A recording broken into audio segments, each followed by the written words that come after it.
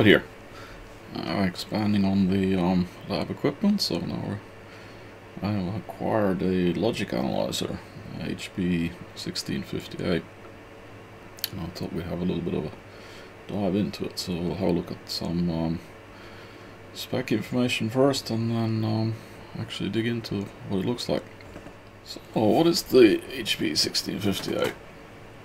Um, logic analyzer, not exactly new generation. Time has passed.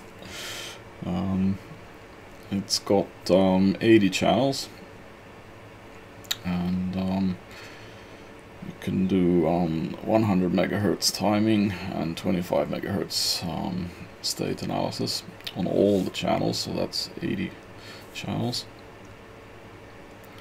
And um, can go through the short list here.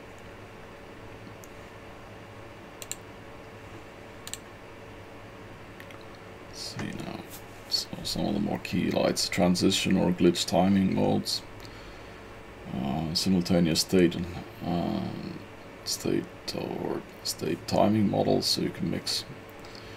Okay, not a very deep data caching, but one kilo deep memory on all the channels. And this is important glitch detection on all channels. Pattern edge and glitch triggering. Um, overlapping of timing waveforms. And this is actually cool, and you can um, compare to yeah, cheaper hobbyist uh, logic analyzer that you actually have several depths of um, sequence. So you can say wait for sequence A and then wait for subsequence B and then subsequence C, uh, continuing down to 8 levels before it actually triggers. And it does that with patterns also. Uh, yeah, I think that's pretty much summarizes it. So anyway, this device comes from around 1987, around that year. I'm not sure exactly what date code the specific uh, device that I have has, but um, around that year. And um, here we see the front panel layout, so it's got a built-in CRT display. It's got a floppy disk drive to boot the operating system for the logic analyzer, and then it has a bunch of buttons and, and then a, a wheel, so no mouse. Pre predates mouse control. So it was more like this, um, from those days, conventional cursor, um, you know, wheel toggle and press button stuff. So I'd just like to show the breakdown of the probe structure because this will be important when we actually look at the physical device that I have. So um, here's the probe cable and there are um, five of them and then um, goes into a probe housing and then you plug in these probes individual probes and it has a grounding probe separate and also these probes here you can plug you can plug in a grounding cable a short of wire and then it has grabbers so you can actually connect a grabber to to this probe here end and then um, connect it to the to the device um, that you're testing and um, there's a lot, quite a few, ah, these documents and other documents exist. So what I'm going to do is I'm going to put in the description, like the search words that you can use to find the documents. Uh, they, you can find them in many different document repository sites, but I'll, I'll put in the search criteria so that you can actually find them yourself if you're interested. Now this unit um, actually can support many different um, processors or um, pre what they call pre-processors in the language of the documentation. So you can actually have adapters or active adapters so that you can um, plug into um, different CPU sockets and and um, break out external boxes and stuff. And I, I don't have any of that that equipment, and I don't have the supporting software either. So this unit came with the um, basically the standard um, out of the box sort of uh, logic analyzer operating system so it, hasn't got um, things like bus analysis software or mnemonic code conversions or anything so it's just the yeah as as you would go and buy it as a standard edition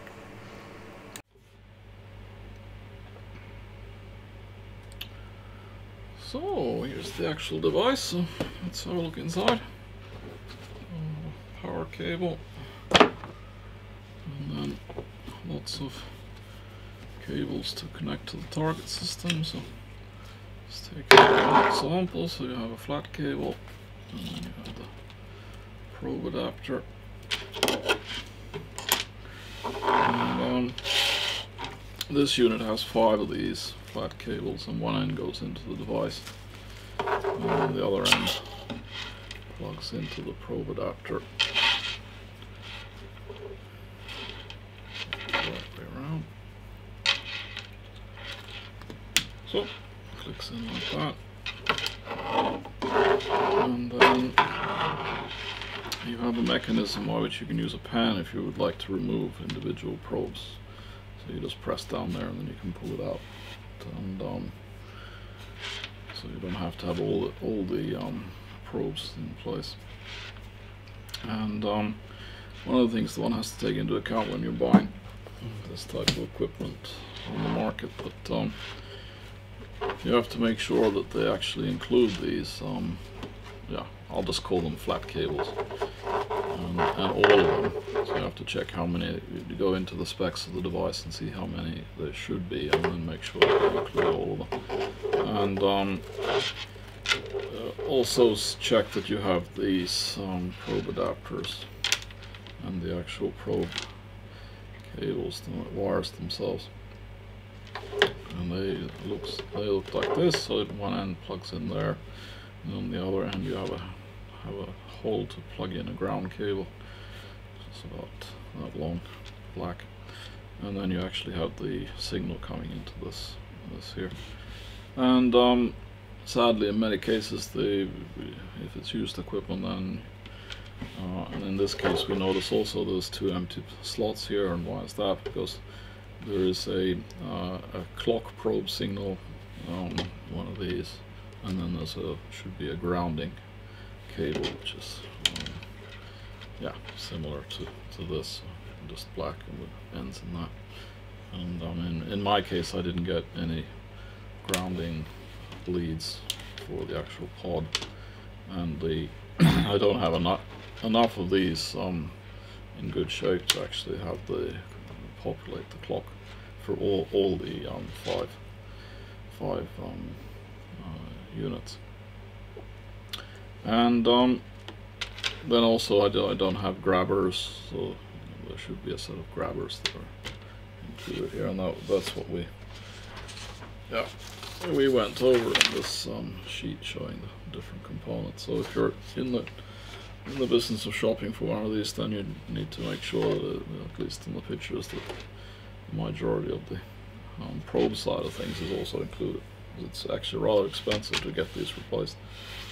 And um, also had a problem where many of the, uh, well not many, but some of them, uh, the probes are, uh, wires are broken.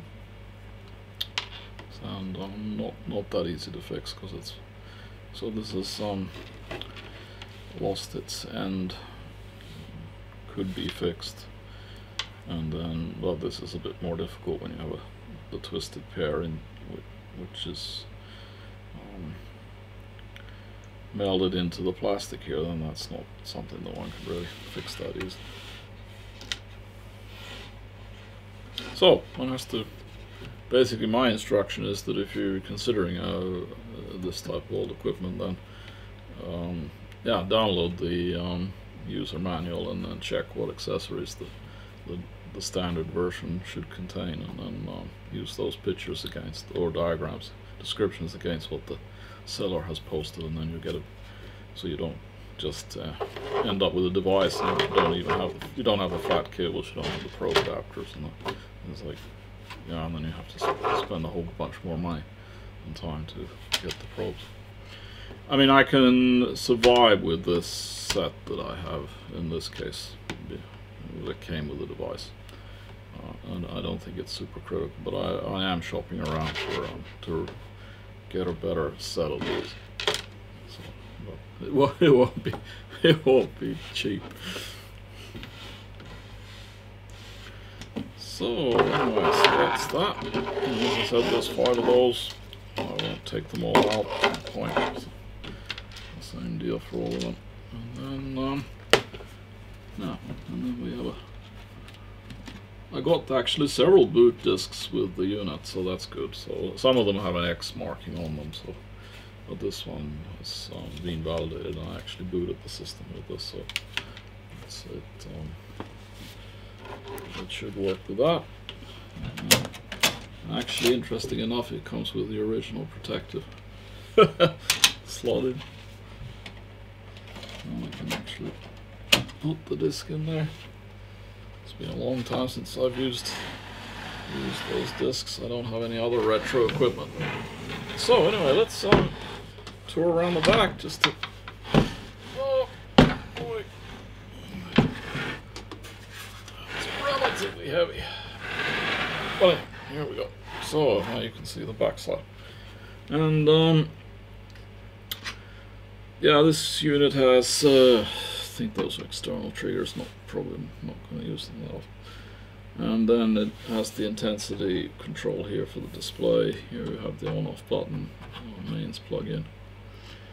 And then here we have the locations where you plug in um, the pod cables. But it must be only one way around you can plug these in, but this doesn't seem to be keyed. No, wait, of course it's keyed. So, plug it to here. So. So that's what it'll look. So have five of these sticking out to there. Um, I did mention in my in the prelude to this that you can actually have um, pre-processors uh, for the unit. So then usually they um, uh, that's tough. They usually they connect directly to these.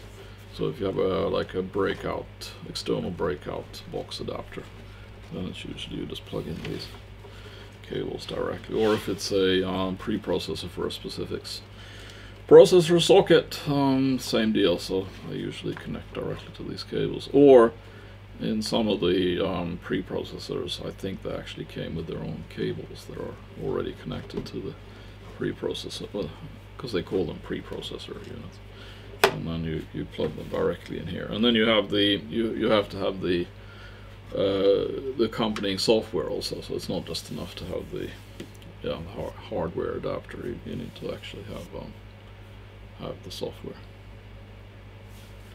Um.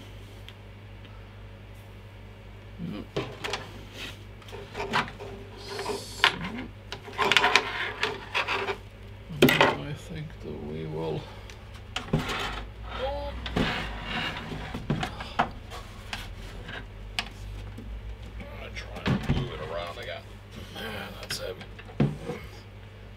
external trigger output, trigger input. So let's start you can this with other equipment. So let's plug in the power cable.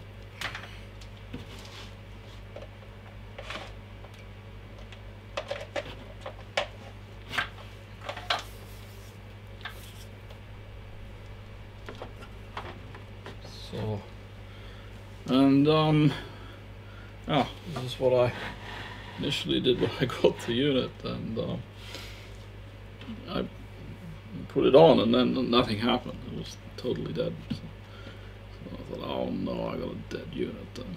And usually, sort of after a while, it comes down, oh, I need to check the fuse. So, and I was thinking, it can't possibly be the fuse.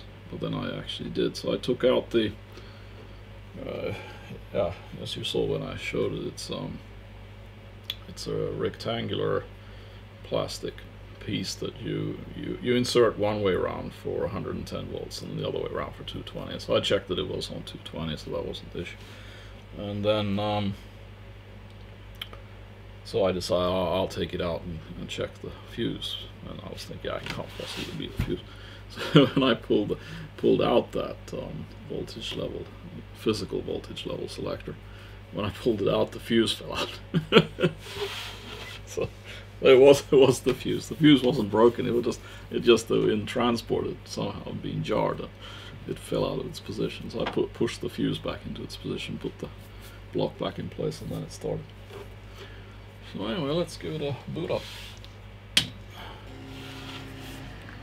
So, real retro feel. And starting up. And then it does an internal diagnostics first, and then it starts loading the operating system. And it's not a incredibly large operating, and and the initial investigations, I don't really get anything special with this unit. It's it's pretty. It looks like it's pretty much the base software that comes with the with the basic um, logic analyzer. So yeah, now it's loaded. The, so actually, it's it's it's software driven. This whole environment. So so basically, it it, it does whatever you have available to to load into it. And and I mean HP sold both hardware preprocessors and then presumably a whole load of um, different types of software solutions. So, um, as I said, I, I only have access to the basics. So it's now it's working as a basic logic analyzer. So anyway, that was the overview for that. So anyway, that's that. And um, now, of course, it comes to the point: is this um, still useful with today's tech? So, um, of course, it, uh, with the disks I have, it doesn't have any bus analysis capability, not even I2C, so or ISP. So that's a bad, dumber, bummer stuff. Uh, one could argue that it's slow um, if you're going to uh, start analyzing gigahertz systems, then obviously this isn't going to cut it. And um, of course you can argue that since we have system on a chip solutions mostly nowadays, then um, I mean there's no direct access to address data and control signals in the SOC. And then you have FPGA solutions where all the circuitry is internal, so one could argue that it's actually very difficult to get access to but I'd like to actually throw out a few um, points here that that um, I think justify still paying the amount that I paid for it. Um, if one just takes ignores some of the limitations and takes cost per channel, it's still for a hobbyist from a hobbyist perspective, it's still the cheapest solution out there. If you if you're looking for, um, yeah like 64, like 80 channels. I mean, it's like it's very hard to build a, to build up a logic analyzer set with 80 channels without spending quite a lot of money. So on the used market, I still think they're competitive from that perspective. Um, you know, even if the device itself can't decode the um, digital bus signal or whatever, it doesn't mean that it can't capture it into memory, and then of course you can ship that data over to the PC. I mean, it has an R, um, a serial port, this version, and and if you look at various HP analyzers, they have one or the other types of different types of um, interfaces for to be able to communicate externally, even if you don't use the floppy disk. So let's say that you can pull over the data to the PC. There are quite a lot of um, open source solutions for decoding. Like if if you have the state data, it can be decoded over to clear text or an uh, analyzed um, bus or yeah, whatever. Um, now, if you're having your own FPGA designs and you are in control of that process, there's nothing uh, actually um, preventing you from exporting any of all the signals that you have in the FPGA. So basically, from that perspective, it's a, you can then analyze those signals. So it's not a lost cause, even if you have, as long as you are yourself in control of the FPGA uh, source code, then, then you have the option to export wherever you want. Uh, arguably, raw CPU data address control um, diagnostics is uh, it's become less important when it comes to when you have system on the chip solutions and you have things like JTAG um, debuggers. Um, yeah, so so on the like that low level, then basically I don't think that you would be using a logic analyzers and those that work with motherboards of modern category. They won't be using this type of equipment anyway. Uh, yeah, I mean, and then of course the SOC has to be connected to things to be able to do things. So um, there's a fair amount of SPI, I2C, um, or just ones and zeros controlling stuff. So you can still analyze those. Um, this is of such an old generation that actually doesn't understand the concept of 3.3 voltage volt um, logic, but uh, you can get around that with yeah, level shifters or actually using custom to a certain extent. You can adjust the um, trigger level so that it will still work even with 3.3 volt logic. So anyway, I hope you enjoyed this one. Um, it's going to be an addition to my stack of equipment I'm going to use to yeah, mostly educate and visualize um, logical circuits and um, yeah, well, I think it will be kind of useful to have. And um, yeah, well, I'll see you guys in the in the next one.